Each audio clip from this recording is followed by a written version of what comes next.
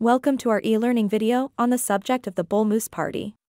The Bull Moose Party, also known as the Progressive Party, was a third party in the United States, active from 1912 to 1916.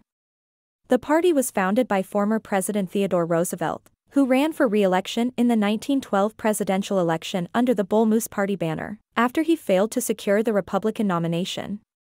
The Bull Moose Party's platform was progressive, advocating for a range of social and political reforms, including women's suffrage, the direct election of senators, and the introduction of a national income tax.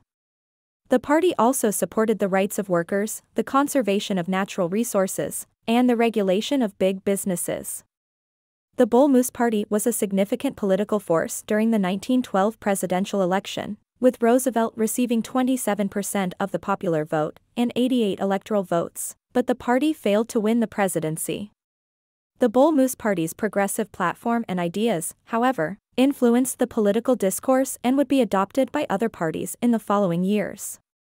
It's important to note that the Bull Moose Party, also known as the Progressive Party, was a third party in the United States. Founded by Theodore Roosevelt, it was active from 1912 to 1916, and it had a progressive platform advocating for a range of social and political reforms.